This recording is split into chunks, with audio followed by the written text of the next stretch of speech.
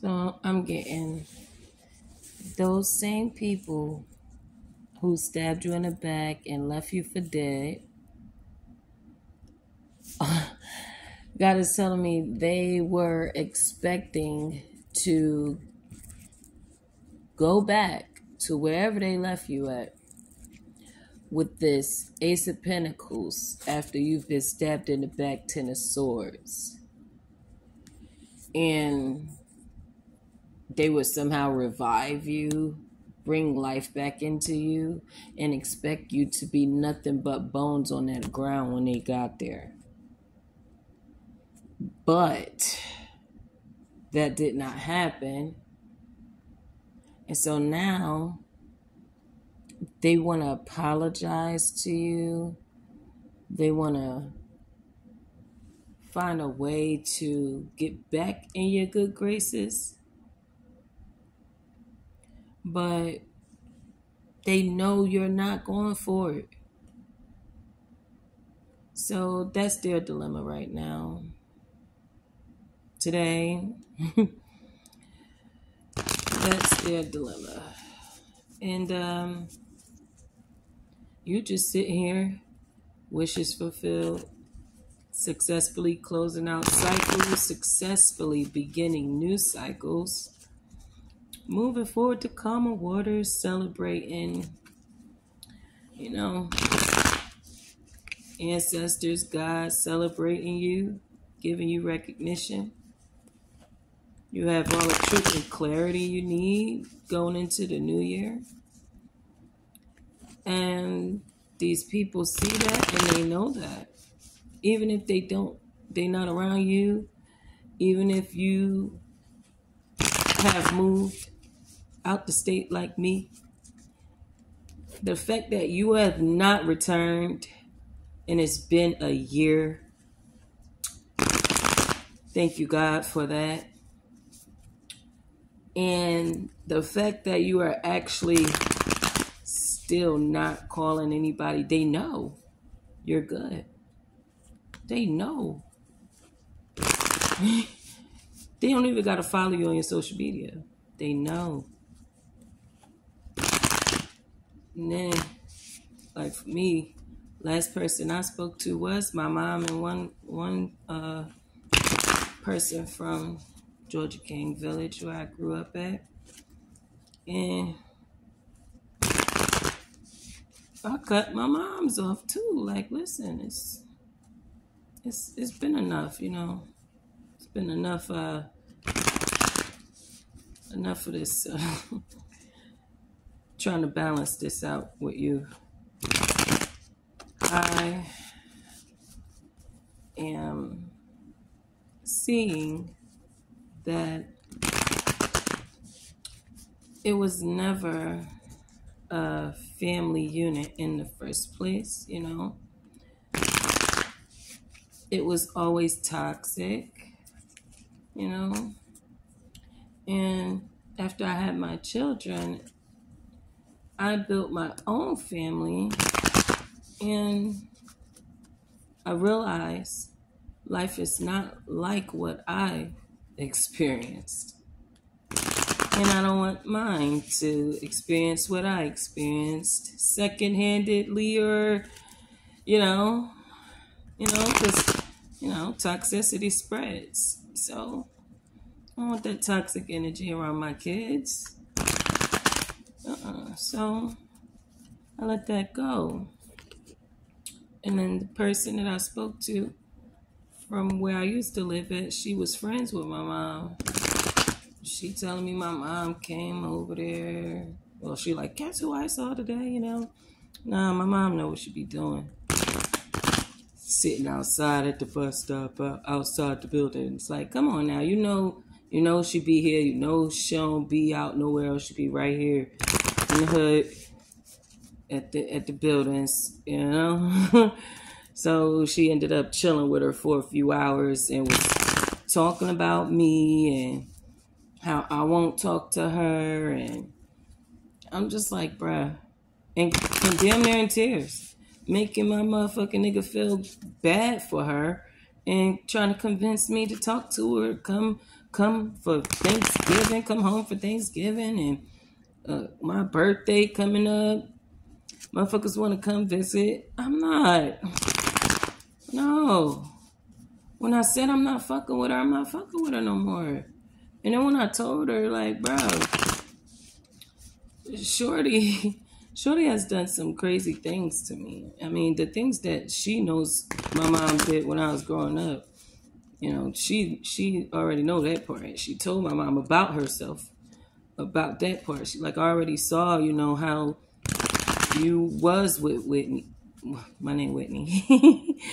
it's like I know how you was with Whitney or whatever, and the way you treated Ashley and Savoya, which is my sisters, and she like it wasn't right. And you got this girl out here with her two kids, your grandkids. You don't never get them kids. You don't never be around her. You ain't never support her. Like she really went in on my mom. My mom felt some type of way about that. Ended up um, trying to leave, but then she had asked my mom for my number. My mom wouldn't give it to her. And so she was like, well, call her and ask her if it's okay for me to have her number. And that was how I ended up, you know, saying, yeah, give her my number. And we had that talk after my mom left and shit. And I'm just like, yo, this is I, I, don't understand. This is why I don't fuck with people because they go behind my back and be trying to lie to people, trying to make me look crazy, trying to make, make me look bad, like I'm some disrespectful ass child, bitch. Bro, you stole from me, bro. You steal money from me and my kids. You you done kicked us out. You kicked us out because you wanted my first check when I was trying to start over after leaving a DV situation. I lived with you long enough to get one paycheck from this job. You wanted my motherfucking check it because I wouldn't give it to you. And I gave you the food stamps because I wouldn't give it to you. You told me I had to get the fuck out. And when you came home, what you do? Made sure I got the fuck out. It what what my sister do? Both of them. Still there laughing, watching me and my two kids drag all our stuff out of her house and had nowhere to go. But all I did was go ahead, take my motherfucking check, go get me a nice little hotel right next to my job and start taking my kids to school from a motherfucking hotel. I don't give a fuck. Bye. And you wonder why I don't fuck with you. Then you told me you was gonna help me when I got injured at work. And what you do? Claim me and my kids on the tax and said you was gonna give it to me and you kept it. Then stimulus came out. That was back then when all that was going on. And you you stole my stimulus too. Both times. Like I had to report you to the IRS. Like, bitch, you wild. and this is why I don't fuck with her. And this is why now everybody gotta know why I don't fuck with her. Because she be going around doing shit like this. And got people looking at me like I'm the fucking weirdo. And, they, they know I'm not. So they asking me like, what's good? What's going on? Now I gotta tell them. Cause you out here wilding. So anyway, hmm, the things that are closing out this year, it, I'm so thankful for because it took a year for me to get right back on my feet. And I'm just thankful for that because now I'm away from all that energy. And this is me closing out all them cycles. Sis, don't try to talk to me. Ashley, don't try to talk to me. Um, Sequoia, I'm good too. I'm good on um, all y'all. Like, Kana, I'm good on all y'all. Jay, I'm good on all y'all. C's, I'm good on all y'all. Yeah, good on all y'all. And um, definitely my sister, since you had sex with both of my baby dads. Yeah, because I left the first one because the dumb shit he was doing with her. Then the second one, dumb shit he doing with her and other bitches and friends. Like, it's like it seems like every time I get somebody, she want to put her shit on it too. She need to touch it too. She need to experience it too. She mad because she asked the first one to leave me and he wouldn't when she got pregnant. Had to get abortion. He took her to do that. Yeah. Yeah. And I still left him. I'm not fucking with y'all like that. Y'all all dirty as hell. Fucked up. I would never do none shit like that to nobody. Not at all. family, my, my mom and her fucking her sister. Mm-mm-mm. With the spell work that my aunt be doing on people and my mom be doing on people. See, I used to know when I was younger. I said, yeah, it's some witches in this family because it ain't no way. The things that I be seeing, and mm-mm, mm-mm, hearing about, mm-mm bodies buried under concrete and in people houses gotta dig it up before they sell houses. Like yeah wild ass shit i was hearing as a kid. That's why they didn't fucking like me because i'm I, i'm i'm seeing y'all having conversations in my dreams and i'm talking to y'all about it. You you you think i'm fucking you trying to make me crazy make y'all be crazy. And then i end up seeing it in person. I'm watching y'all and it, it, it's weird yo. It's weird. I'm just glad that I am no longer around that energy where people are trying to gaslight you when you know what the fuck is going on. They don't want you to know what's going on. I know um, I told this story before, but I'm gonna mention it now too because my cousin's husband came to me in a dream too, and he we in a dream sitting on the couch. He come up to and, and, and I'm in a dream. I, I just wake up in a dream sitting on the couch like with him, I'm like, oh, hey, what up, right? What's good? So he like, yeah, I want to tell you, you know, what happened or whatever. So I'm talking to him or whatever. I know what he mean because he did. So he trying to tell me what happened. So it was him and my aunt. They had an argument when my aunt went to visit them in North Carolina after he got out of jail and married my cousin. My aunt never liked him since I think my cousin was 12 when she met him, and he was like 14. And they've been together ever since. He was her first, that's her first uh, baby dad and everything, like her first husband, all that. You feel me? They was really in love. My aunt hated that shit, and she always tried to break them up and tear it up. So she ended up doing her little witchcraft shit, and she summoned some demons. And the two dudes that he went to buy weed from one day after they had an argument, and she went back to Jersey, he went to buy some weed, and it's weird to me because she thinks she fucking slick. So he goes to buy some weed, and the two dudes that he was buying the weed from, their bodies had already been snatched by the demons that she had sent, that she conjured up and sent into those bodies. And it's like they ended up robbing him and killing him. And then when you watch the, the YouTube video of the, the trial, and my cousin is yelling at the dudes, and the dudes is looking lost as hell. They don't even know how they ended up where they was at. It's the witchcraft shit. Body got snatched. You did a fucking murder for somebody else you don't even fucking know. yeah. Now you're in jail.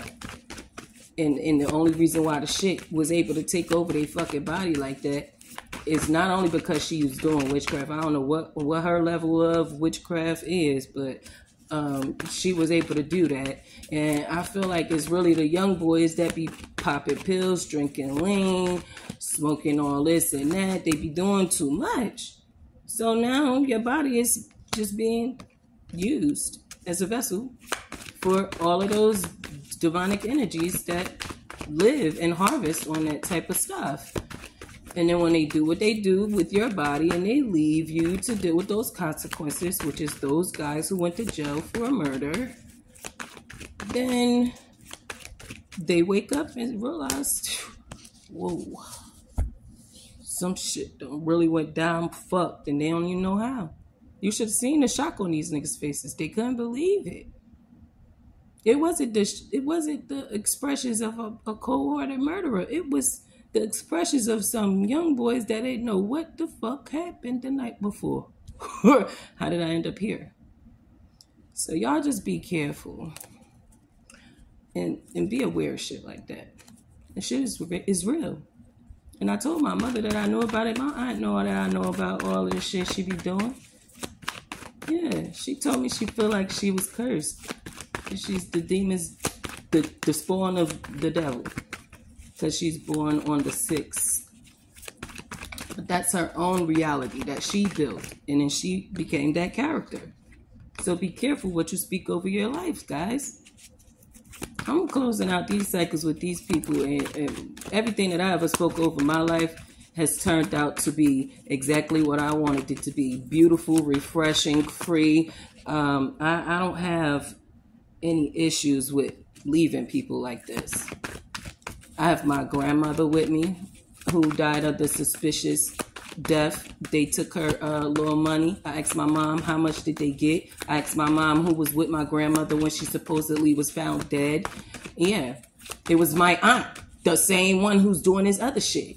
then my other aunt died, the youngest one that they always treated bad, the black sheep, um, because they have a color complex, and she was the darkest one the darkest toned one. Beautiful.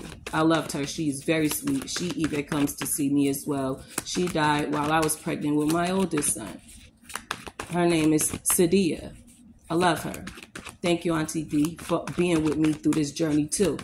And the reason why my grandma, my aunt is around me like this is because these motherfuckers is mad that I know the shit that I know, that I got the gifts that I got, that I speak the way that I speak, and that I don't give a fuck.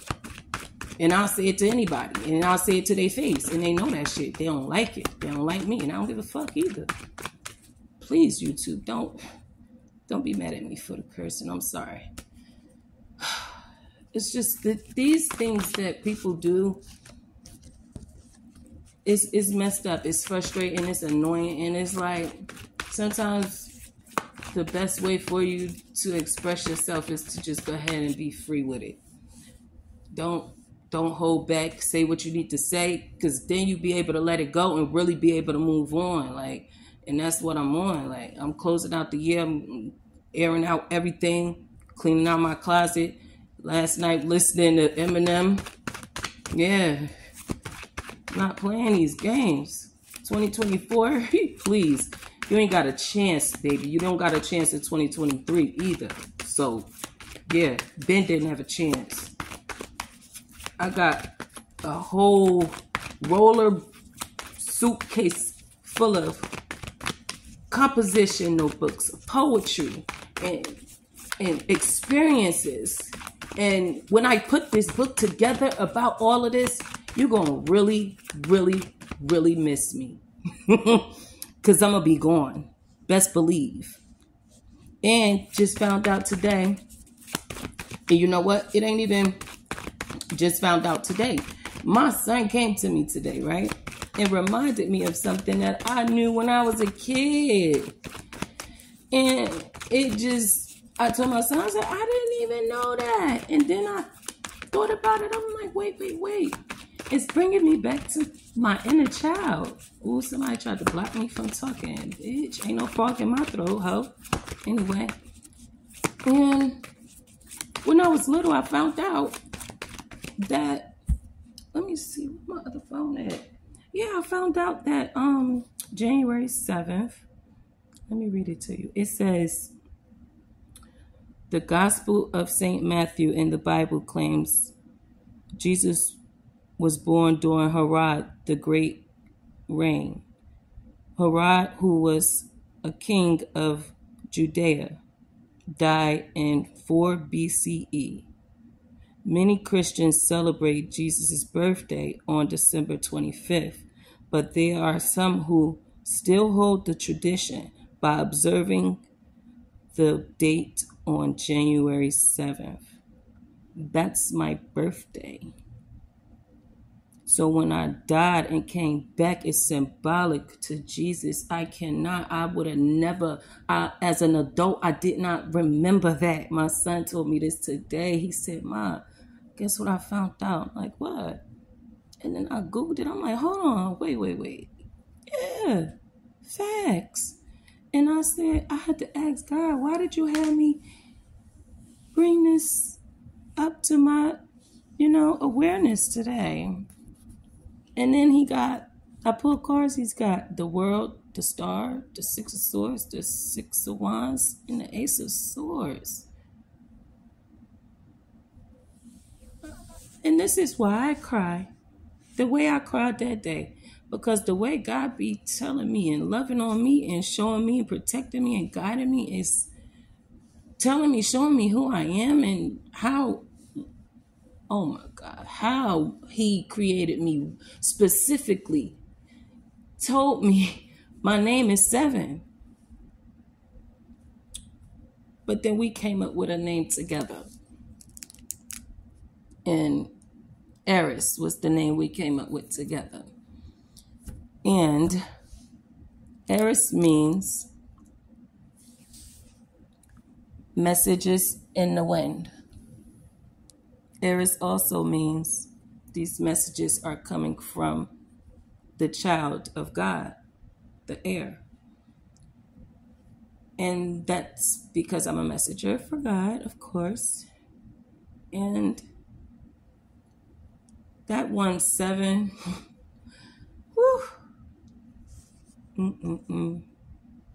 One and seven is eight. That's abundance. That's eternity. That's affinity. That's, I mean, I just love you, God. Thank you so much. And I'm so glad that my season is here. Happy Capricorn season, you guys. Tis the season.